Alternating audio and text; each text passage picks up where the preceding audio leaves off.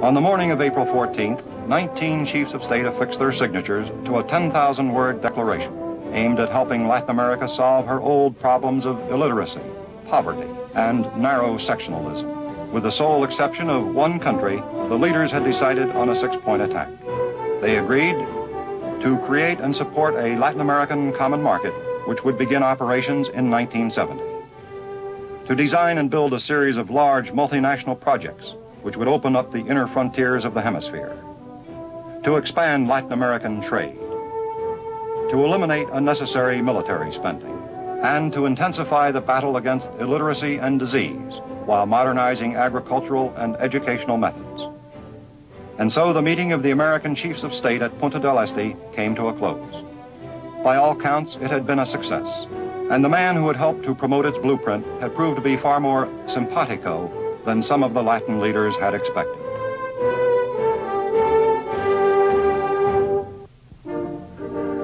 At Punta del Este, as at other recent summit meetings in the Philippines and at Guam, the world had an opportunity to observe a significant change in presidential diplomacy.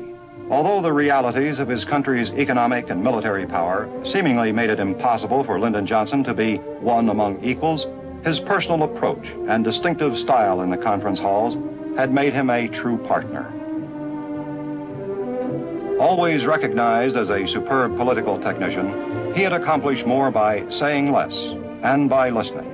In the post-war years, the correct diplomatic stance for a conference-bound president was considered that of a benevolent benefactor or provider. Now the style was being changed. Perhaps in its own way, the change was a tribute to the success of United States foreign policy since World War II. A policy that encouraged the free nations of the world to reach out for dignity, diversity, and individuality. A policy that had spawned one of the unparalleled economic success stories of all time, the Republic of West Germany.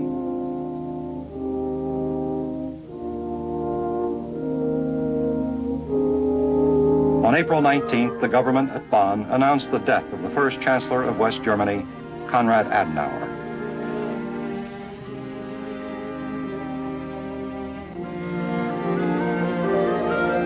Four days later, two heads of state, 12 heads of government, and representatives from 61 nations began arriving in Germany to pay homage to the man who, more than any other, had shaped the destiny of post-war Europe. The trip was President Johnson's third outside of the United States within a year, and his first to Europe as chief executive.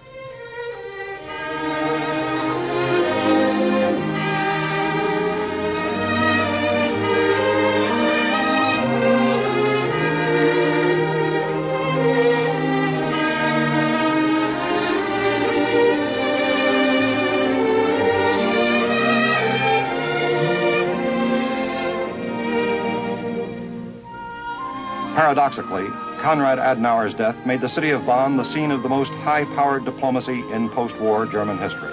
While there, President Johnson and his fellow leaders seized the opportunity to do something that world leaders don't often get a chance to do. Discuss their problems face to face.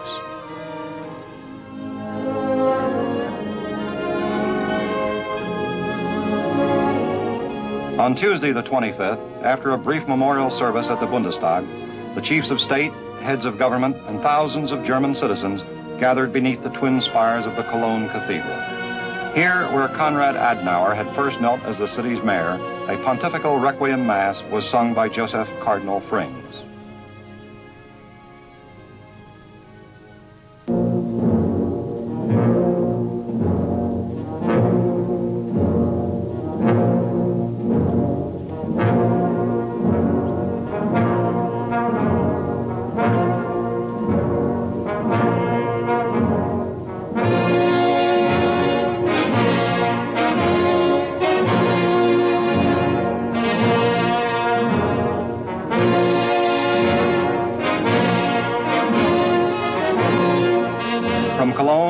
Konrad Adenauer's body was taken aboard a naval patrol boat for the trip up the Rhine River to his final resting place at Rhondorf.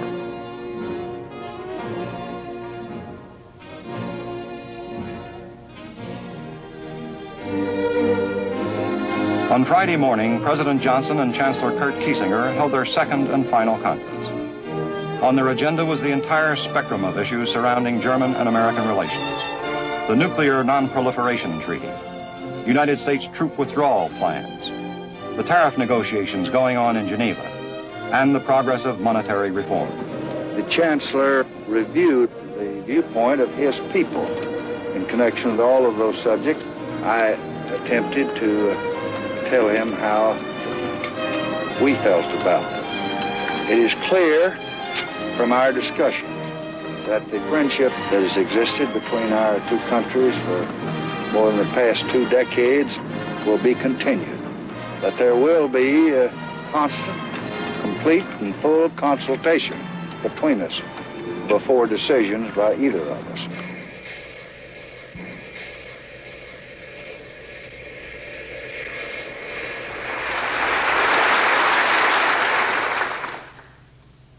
As I have said before, in evaluating the enemy strategy, it is evident to me that he believes our Achilles heel is our resolve. Your continued strong support is vital to the success of our mission.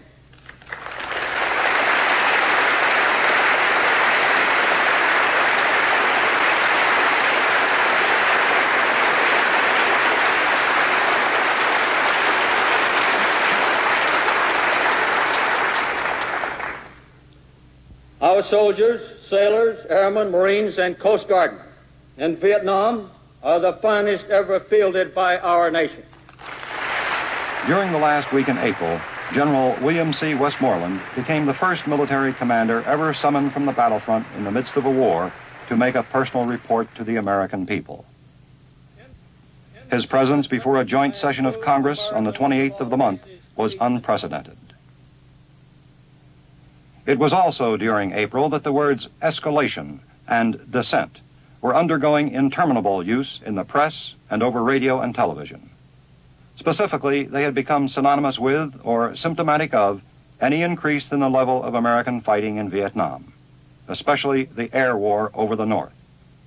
They had become one-way words on what was clearly a two-way street. I do not expect every American to agree with each and every action that we who have responsibilities sometimes feel that we must take. But I do deeply believe that there will be less misunderstanding if the facts are better understood. These men understand the conflict and their complex roles as fighters and as builders. They believe in what they're doing. They are determined to provide the shield of security behind which the Republic of Vietnam can develop and prosper.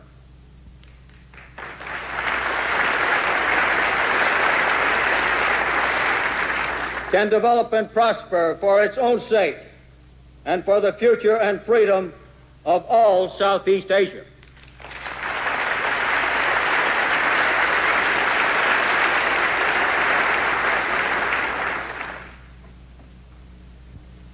backed at home by resolve, confidence, patience, determination, and continued support, we will prevail in Vietnam over the communist aggressor.